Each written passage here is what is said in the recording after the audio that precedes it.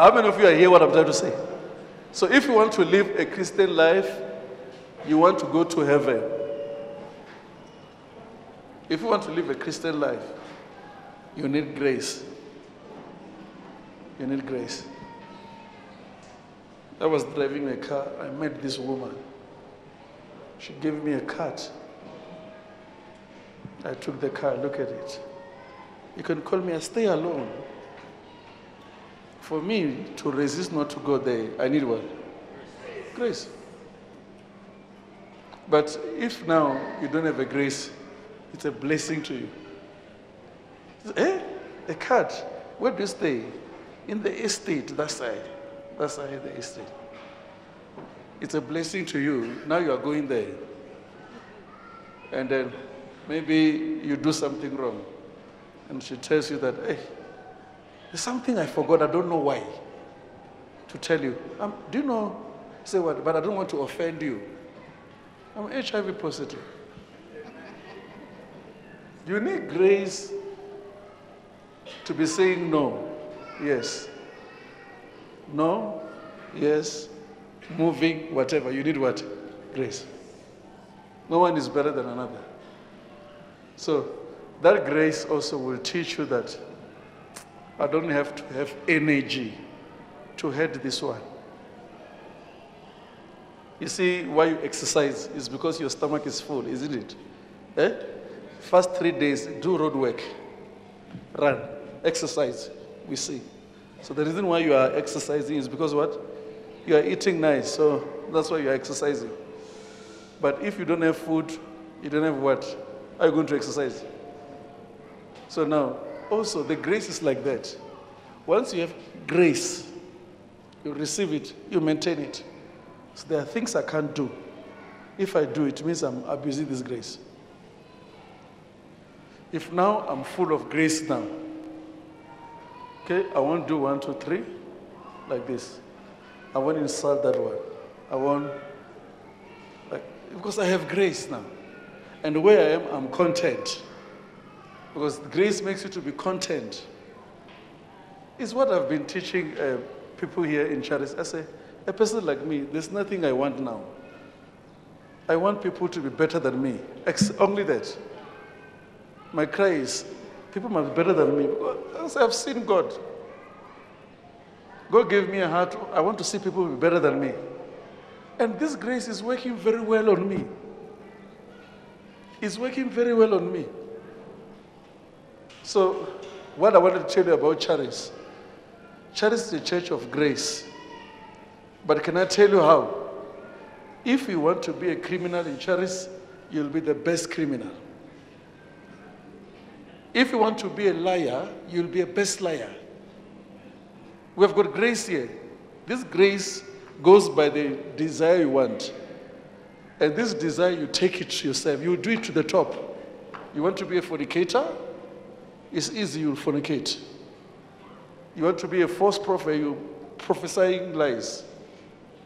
We have got grace here. You want to live a holy life, you will live a right life, holy life. To extent that people will know that you are a Christian.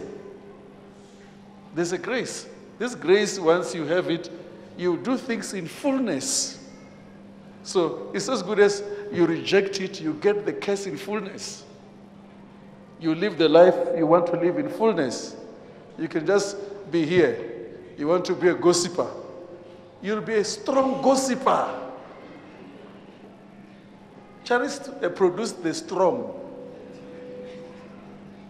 The people, if you want to know about strong gossiper, come to Charis.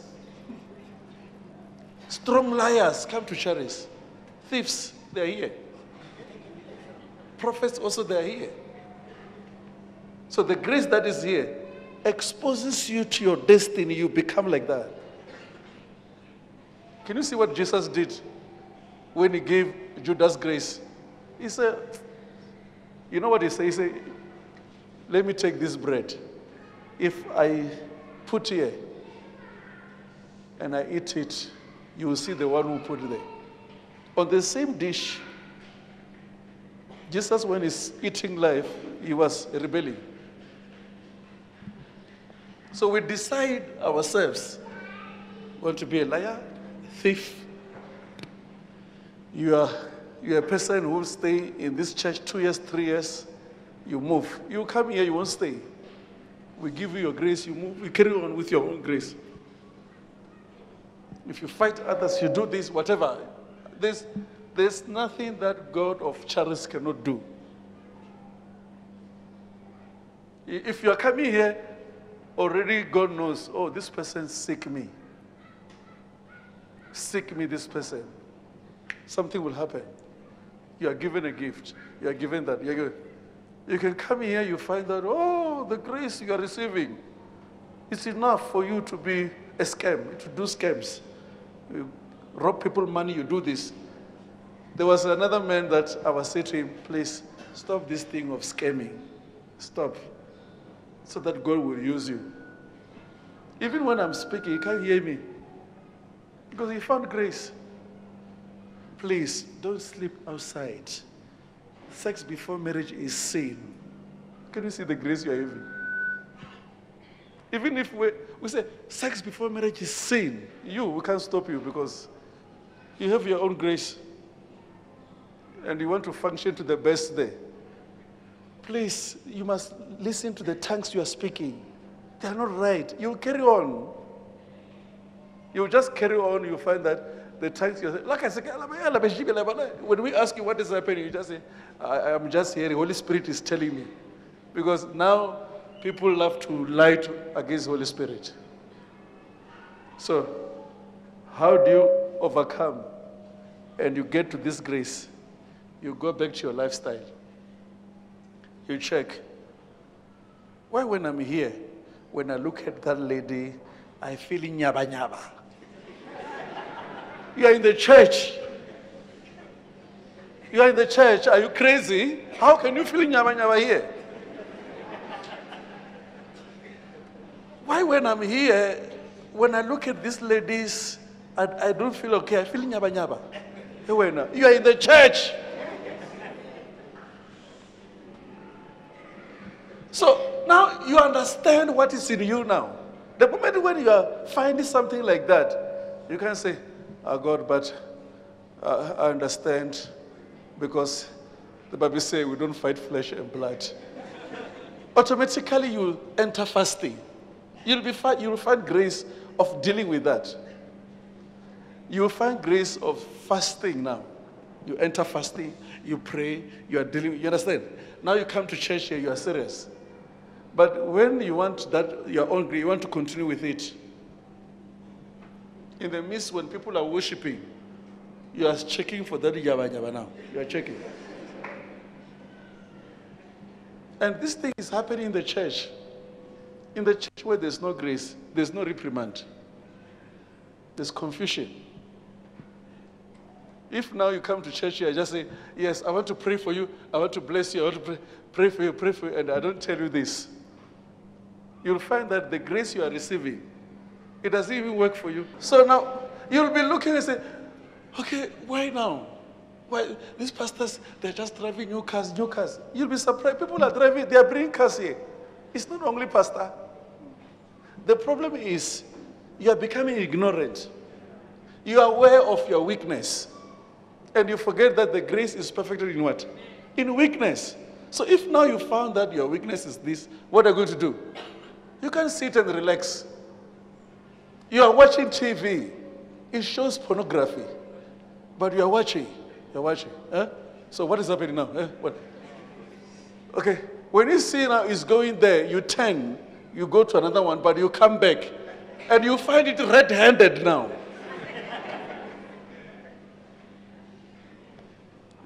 I don't know how we can teach you this because Jesus is coming back. Jesus is coming back, and we are in a church now that we need to speak the truth. You, you, you know very well, your weakness is this. If a brother come and say, hello, you can't deny. So what do you do? You must run away. Look what Joseph did. He said, this will be a weakness now. Ah, this will be a weakness. If now I'm here, I'm not denying that my master say I'm in control, but hey, mama, please, you are mama, please. Now, when Mama say, "Let me hold you now," he says, "Eh, it's my weakness. If this person hold me and I listen, it's over with me. Let me run away." This is the time that you people here you check. Oh, where can Satan get me? Where can he find me? If he's finding me by this, I need sellotape.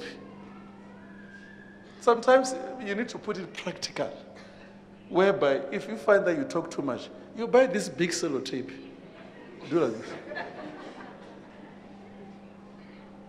You just do like this. In the night, you take it off. You begin to say, Father, today I didn't say anything. Now I want to speak with you. You gossip with God. You gossip with God.